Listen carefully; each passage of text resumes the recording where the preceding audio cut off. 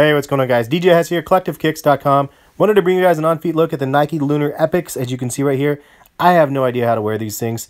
Uh, leave a comment, let me know what is the most appropriate way to wear these things with these crazy high sock-like uh, sneakers. I just don't get it. I'm too old to probably uh, probably make this uh, happen the right way. But I did want to try these sneakers out. Rumor was that these were extremely comfortable, and the rumors are correct. Uh, the Lunarlon, how they have the soles as well as the sides on them are super crazy now. How they have these crazy lines cut into the Lunarlon material. Really, really crazy and comfortable. Um, the Flyknit upper is really comfortable as well.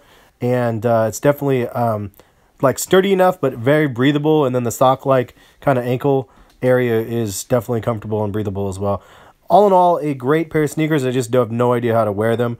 Uh, I definitely am looking forward to the low top pair of these. And when those drop, I will be picking up a pair. Uh, but wanted to show you what they look like on feet. Probably the wrong way to wear them. Moving on, though, I'll show you guys the Nike Free RN Flyknits.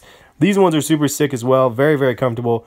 And definitely a little bit more um, like the motion, I guess, of the Free uh, is definitely like very natural feeling the way when you step.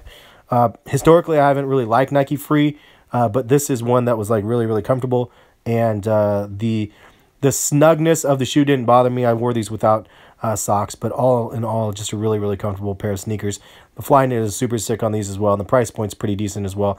I will post some links in the description. You should be able to get them under retail uh, from, these ones at least, uh, from uh, Roadrunner. I usually post deals, and they're, they're um, 20% under under retail usually roughly.